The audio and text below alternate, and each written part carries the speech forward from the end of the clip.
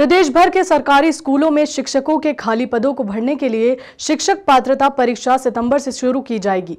इसके बाद सरकारी स्कूलों को अगले सत्र से लगभग चालीस हज़ार शिक्षक मिल जाएँगे। भर्ती परीक्षा के लिए प्रोफेशनल एग्जामिनेशन बोर्ड के माध्यम से होगी। इसके लिए लोक शिक्षण संचालनालय ने शासन को पत्र भेज दिया है।